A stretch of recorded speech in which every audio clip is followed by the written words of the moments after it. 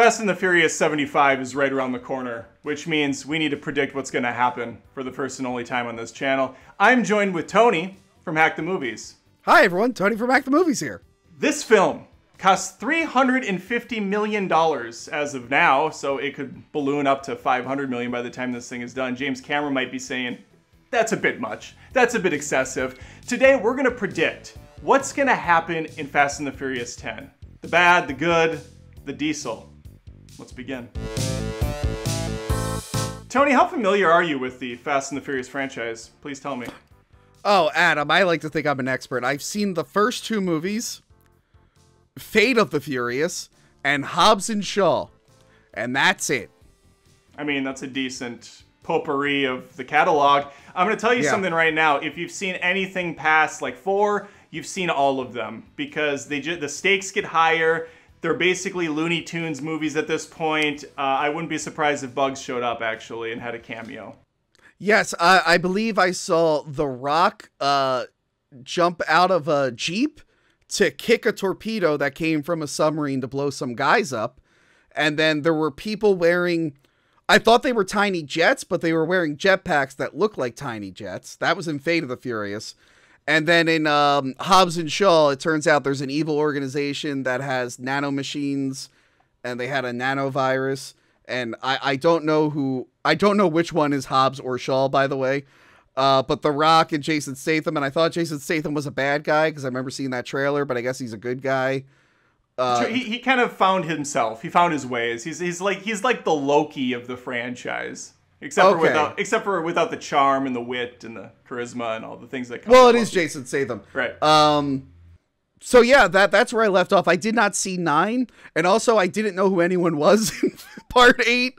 Like Vin Diesel was like, "Oh, this is a girl that I hooked up with in between Michelle Rodriguez," and I'm like, "Where did Michelle Rodriguez go? What was she gone? What happened?" So Yeah, I think So, yeah, at one I think at one point they killed her, Letty, and then Oh. she like pops back up like she's on a soap opera a movie or two later and she has amnesia, of course, as one gets. Oh yeah, yeah. That's how amnesia works. Yeah, and then and then they had to kind of like get her back to where she belongs with the family that is Vin Diesel and company. Interesting and- enough, Tony, in Fast Nine, fine, if you will, which wasn't fine, it was actually horrible. Uh, it turns out Vin Diesel's character has a brother. Well, that's interesting because in Fate of the Furious, he found out he had a son. Is this going to be a thing? He's just going to find out each movie a new relative he has? Which is odd because it's a movie franchise centered around family, and this guy has absolutely no idea who any of his relatives are. It's just bizarre. Uh, they do a weird flashback in Fast and the Furious 9 where he's with his brother, and apparently they have a great relationship, but had a falling out at some point, and they just never mentioned him or had any photos, and his sister didn't talk about him. Just really odd, you know, just odd stuff. Yeah, I love I love that cliche of like the sibling you never heard about sudden, suddenly showing up way later. Uh, Star Trek Five, Star Trek Five was the master of that, where they're like, "Oh yeah, Spock had a brother this entire time." They had to call it out, and Kirk's like, "You don't have a brother. I've known you for years," and he's like, "You're right. I don't have a brother. It's a half brother." And it was like, "Fuck you, fuck you." but anyway, keep going. I was just going to agree with you, and oftentimes you see it on TV sitcoms when they've kind of like run out of gas, or they're just trying to like quickly do an easy episode. So they're like, uh, so and so has a quirky sister or brother that we haven't heard about for four seasons, and here they are for this one episode. Yeah, but My Fast and favorite Furious, is um. Fast and Furious sorry. is doing it nine movies in. So Fast Nine, John Cena is his brother. Did John Cena survive that movie? Of course he did. Yeah, John Cena survived. Uh, I think he survived. Actually, actually, I don't know. I think the thing is, anyone that dies comes back. They're they're essentially Okay. Avengers movies at this point. They they fall down a cliff, and then it turns out they got like snagged on the side of a rock, and then four movies later they're back. But I think for Fast Ten, it's called Fast X. Ten is the you know the, the other way to say that. When it's the tenth movie, you do have to do X. Jason X established that that is the rule. That is that is something you have to do. Jason X established it. That's true. Yeah. And I think like Jason X, they're headed to space. I had a question about that Please do. because I saw the trailer for the last one, and I believe they had a a car strapped strapped to a rocket ship. Yeah. and it was going to space. Did it not make it all the way to space? Well, you know, it broke the Earth's atmosphere. It broke the crust, if you will. Uh, so they were teasing it. They teased it. They teased They it, but then they just kind of floated and then went back down. They they uh, that worked. That worked because I bet you they were like you were like shit. I want to see that car go up into space. I think this time they make it all the way. I think Vin Diesel's somehow going to get inside of one of these rocket ships. It's going to go up into the sky. There's going to be a base orbiting the atmosphere, and there's going to be a fight takes place on there. I think Okay. Diesel's brother's coming back. I think we're going to see more of him because he was popular in the last film. Uh, I think that there's going to be some stakes this time. I think some key characters are going to die for real. Okay. Uh, Bru- his sister Jordana Brewster, did she come back? She came back in the last one, right? Jordana Brewster is in it, yes, briefly, but she's there. Okay. So does she mention Paul Walker? Because I know he's technically alive in that universe, but obviously they don't show him. Wish I had something to pour out in memory of Paul Walker, but I don't. I, I haven't. I have an empty mug. I can. There you go. Please, please symbolically pour one out Yeah. for Paul Walker. Um. he lives life a quarter mile at a time. Is that, is that, what, is, is that the term? I I think Vin Diesel said that. Okay, okay. So you're right. You're right. Uh, Vin Diesel. He's got another family member who I assume is on the moon. Of course, Uh, and he's just like, man, but I had I had a long lost brother. He he was drifting, and he drifted so hard he fell off a cliff, and then it, it, he drifted all the way out of the Earth's atmosphere and landed on the moon. He did. He drifted. Well, Fast and the Furious is owned by Universal, right? Yes, And Universal also has Transformers. and Jurassic Park. Well, yeah, they also have Jurassic Park. And tr- in Transformers Dark of the Moon, it's established that there were already Decepticons living on the moon. Oh wait, Universal might no no. I think Paramount has Transformers. Damn it! This would have been the perfect crossover event for Fast and the Furious X Transformers. Ugh. Ah.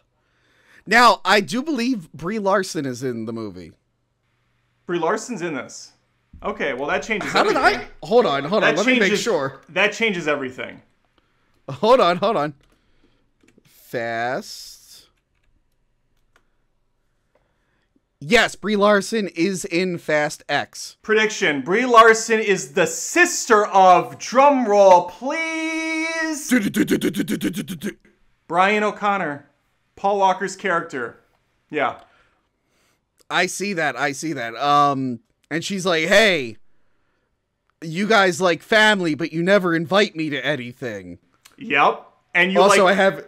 and she's like a professional booster in the mean streets. Brian was disappointed with her from a young age. She was on the wrong side of the tracks. And so Mm-hmm. now she's finally come into their life after all these years with information. Yep, yep. And uh, that information is on the moon. um, which thank God they're filming it in space because she's also doing the Marvel. So they, so she probably changes wigs and she's Adds still up. on the moon. It just yeah, adds it- up. Yep. Yeah, yeah. Uh, And uh, this movie's going to end with Diesel, uh, which is short for Vin Diesel. He's Mm-hmm. going to uh, meet up with his buddy Brian Brian O'Connor again. They're going to have like a nice little sunset drive. Maybe they play the song again. It's been a long day. But in space this time. But in space, yes, of course, in They're space. in they're- two rocket ships, and one goes to Mars and the other goes to like the moon. I was gonna say they're like drifting on the moon, and they're just like doing like, like, like doing shitties in in craters. and as they're like circling each other, they just both look and just give like a nod, and, and that's it. And then and then and then the the camera like pans back from the crater, and it becomes like a, a wheel of a car, and then Fast Ten comes up, and that's it. Oh, that that's how it's gonna end. That is how it's gonna end. of course, a song from Luda comes on. Luda. Wait, so who was the bad guy in Fast Nine? Was it John Cena? Uh, the bad guy in Fast Nine were the friends we made along the way. Did Charlize did Charlize Theron leave? John's.